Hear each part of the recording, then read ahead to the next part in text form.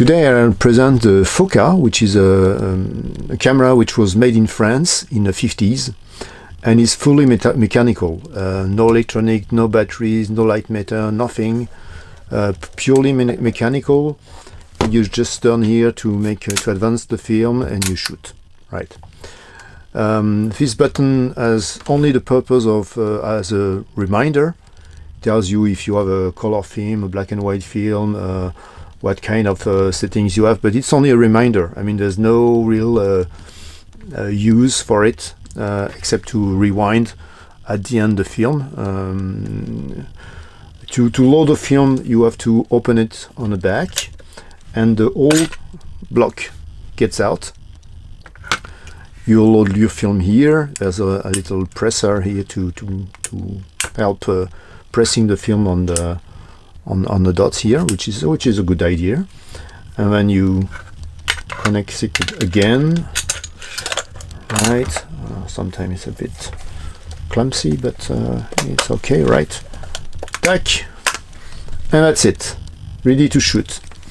Well, ready to shoot. You you've got a, a counter here, uh, which I think you have to. Uh, you can uh, um, move to zero when you when you start or it moves automatically. I don't I don't remember but it's not very important. At the end you you, you will feel when you reach the end of the film anyway and then you have to, you've got to rewind manually.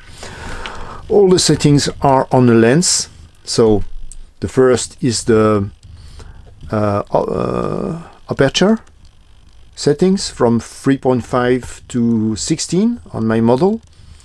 Then the speed from uh, B bulb mode to uh, 1 30th, uh, 1 300th of a second. And uh, the last one is the distance from uh, 0 75 meters to infinity. And you've got some red markings which are for the hyperfocal. So 11, 8, 11 and 16 opening are marked in red. So it means you've got better chance to have a focus because the length of uh, field is greater.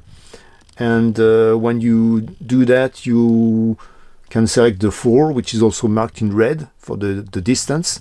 So the hyperfocal is allows you to have a bright um, from close range to middle range. And they say uh, the 125th of a second is marked in red because I think if you if you are closing here ob obviously you have to uh, have a, a, rather slow speed to compensate for the um, for the the, the, the, the light being uh, less due to the small aperture. And if you do less then it would be shaking. So it's a, it's a limit where it's not shaking. Uh, and with those settings uh, uh, throw uh, I mean a 400 uh, ASA um, film in it it's safer. I think you would have uh, more chance to to have enough light to do that. Uh, and you you can go and shoot. So rather discreet. So quite good for uh, um, street shooting. Um, the viewer is a bit small but it's okay. I mean no rangefinder no nothing.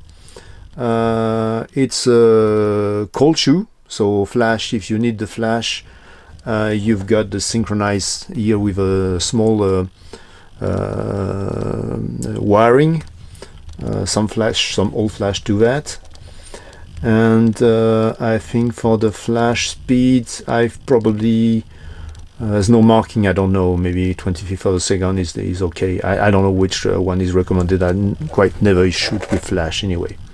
So I took it out and went to, to shoot a, a, roll of uh, black and white film uh, on the seaside. And um, I got some not so good results because I think maybe I, I my opening I, I think I selected 8 I would rather have selected 11 or 16 to have a greater depth of field.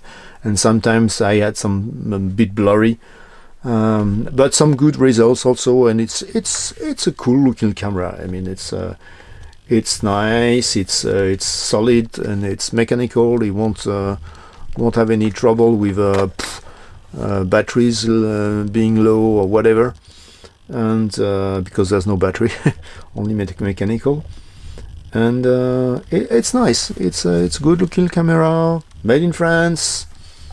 In I think the made in France here. You can see the marking France. It was uh, built in uh, I think in uh, close to Paris in Levallois-Perret, and uh, they they're very cheap. I mean, I paid for mine 10 euros, so I think I was lucky. Maybe it's 20, but uh, still you can find the Foca Sport is a rather cheap camera to find, and it's a, it's a nice and sturdy camera. So good looking. Uh, I like the look. Uh, I, I, I, think uh, it's like a, a bit like a, like in a Spider-Man movie or you know that kind of uh, cool camera, a bit, uh, a bit old-fashioned and uh, a lot of metal. Uh, I like it. So I will put the photos behind um, just after that. Uh, tell me if you if you like it, and uh, please comment and tell me what you think about that camera. Bye bye.